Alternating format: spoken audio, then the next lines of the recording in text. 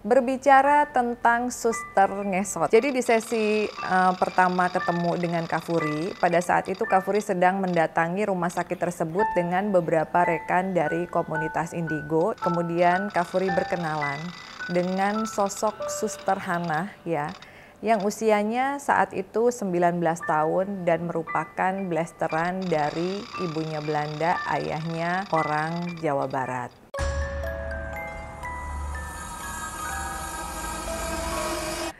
Halo teman-temannya Furi, dan kali ini kita akan membahas cerita seram tentang suster ngesot ya. Sebelumnya Kak Furi ingin memperkenalkan banyak anak-anak asuh di sini ya. Ada Annabelle, ada juga Barbara dan juga teman-temannya. Ini merupakan koleksi boneka di Boneka Furi Harun. Jadi untuk kalian yang ingin mengadopsi boneka, baik boneka-boneka cantik, boneka lucu, ataupun creepy dolls, kalian bisa DM ke Instagram Boneka Furi Harun di hari Senin sampai Jumat jam 8 pagi sampai jam 8 malam. Kalau Sabtu Minggu kita hanya buka jam 9 pagi sampai jam 6 sore saja. Jangan lupa like, subscribe YouTube channelnya Furi Harun dan aktifkan loncengnya supaya mendapatkan notifikasi dari setiap segmen yang muncul di tayangan kita. Berbicara tentang suster ngesot ya.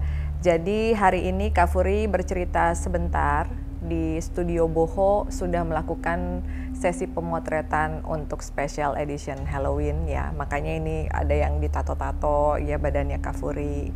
Lalu juga tadi Kafuri sempat melakukan sesi foto memakai pakaian suster dan memang dari tadi pikiran kayaknya ngeblank karena suster Hana sangat ingin bercerita kepada kita semua ya dan syukur alhamdulillah kali ini dia sudah datang ya bahkan datang dari tadi pagi sampai sekarang malam menantikan untuk mendengarkan ceritanya dibacakan.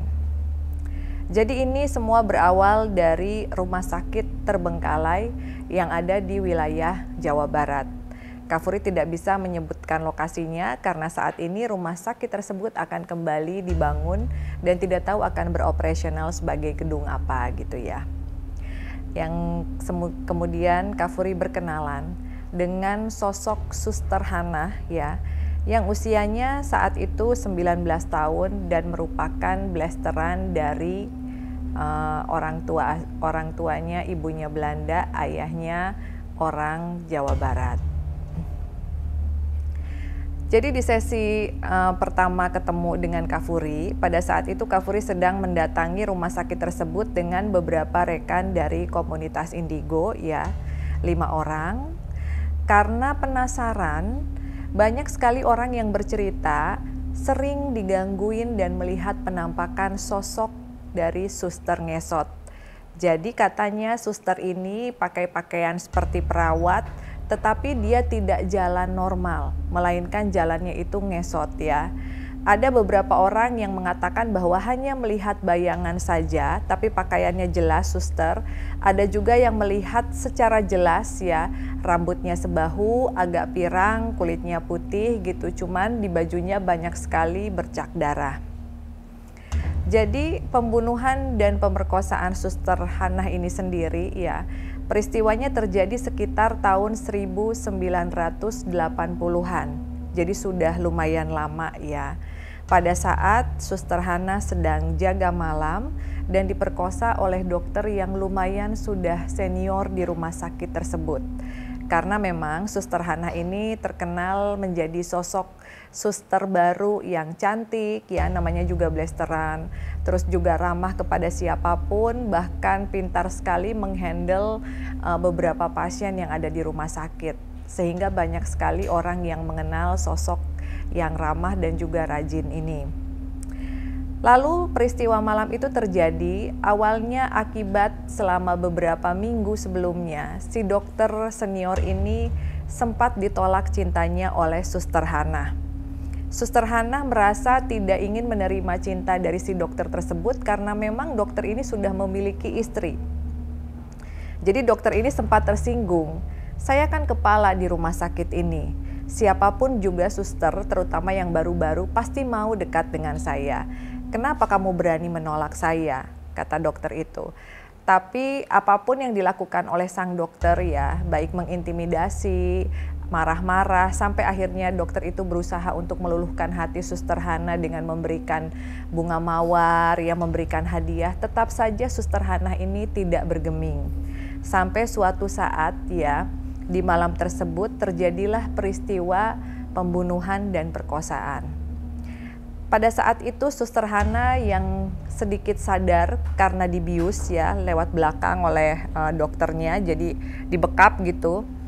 Beliau diperkosa lalu kemudian pada saat setengah sadar dicekik, kepalanya dibenturkan ke tembok dan kakinya dilemparin meja.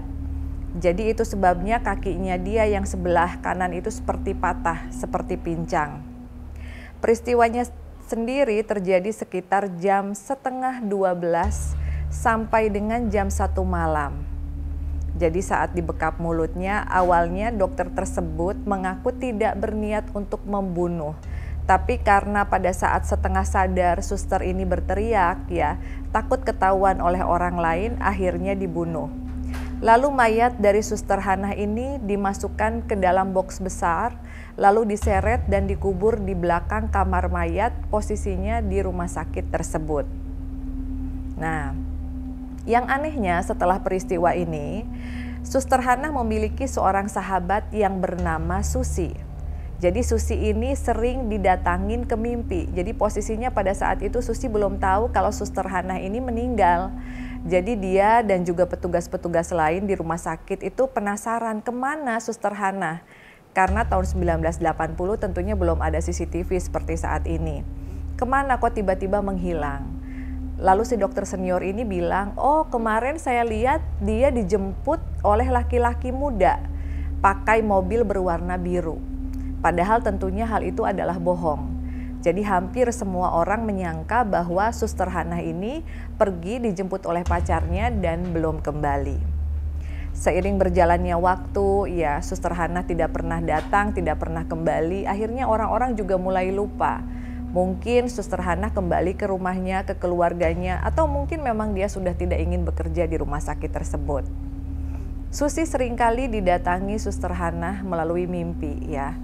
Pernah kesurupan, lalu juga sering melihat penampakan Hana saat Susi bertugas di rumah sakit. Karena dokter tersebut takut ketahuan, Makanya si Susi akhirnya dikeluarkan dari rumah sakit dengan alasan kayaknya Susi ini aneh deh. Berkali-kali kesurupan mengaku Hana padahal kan sebenarnya Hana itu pergi dengan pacarnya.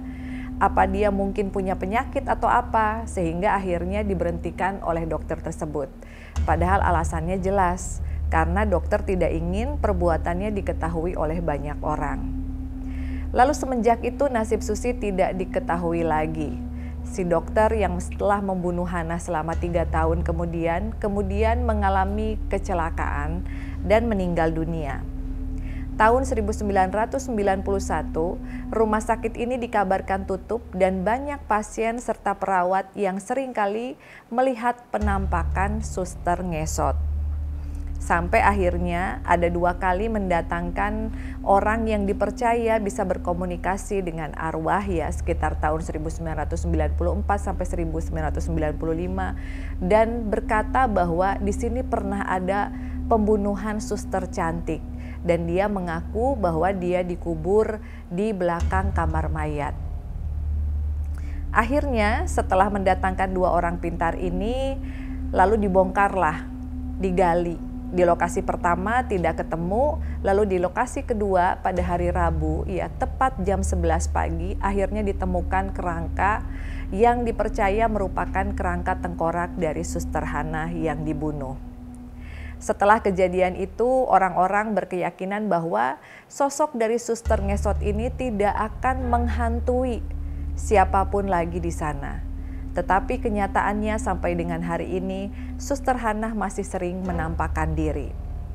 Tetapi yang menarik, Suster Hana ini memang menampakkan diri bukan untuk menakut-nakuti ya.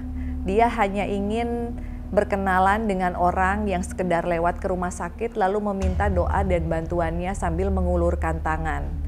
Dia masih ingin hidup. Dia ingin membahagiakan kedua orang tuanya, yang sudah menyekolahkan dia di sekolah perawat dengan susah payah dia ingin bisa menikah dengan laki-laki yang baik serta masih banyak keinginan-keinginannya yang lain. Tetapi sepertinya memang Suster Hana terjerembab dan terjebak di rumah sakit tersebut karena dia selalu merasa bahwa dendam yang dia miliki untuk dokter di rumah sakit itu belum selesai. Nah, bagaimana menurut kalian? Apakah kalian pernah mendengar kisah tentang suster ngesot di daerah kalian atau mungkin pernah nonton filmnya ya? Karena memang banyak sekali sosok-sosok hantu yang seperti suster. Jadi orang biasanya menyamaratakan oh suster ngesot gitu. Padahal ada beragam cerita yang berbeda di sana, di rumah sakit dan juga di tempat-tempat yang berbeda. Melalui episode kali ini Kafuri ingin kita sama-sama uh, berdoa untuk Suster Hana ya almarhumah yang meninggal tahun 1980. Semoga beliau bisa mendapatkan ketenangan, mendapatkan kebahagiaan ya. Kita doa dulu.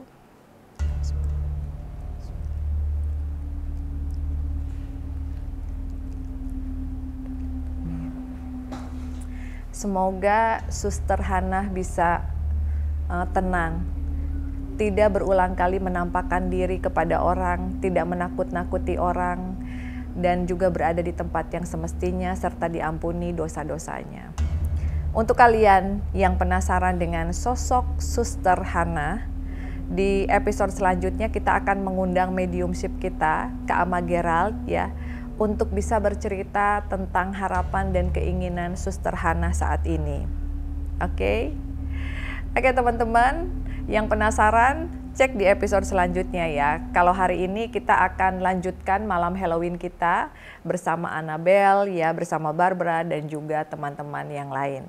Tentunya di sini Kak Furi juga ada boneka suster Barbara tapi kasusnya dan kisah hidupnya berbeda dengan Suster Hana karena Barbara ini sendiri hanyalah anak kecil yang memang memakai pakaian seperti layaknya seorang perawat. Oke teman-teman, see you on the next episode. Bye-bye.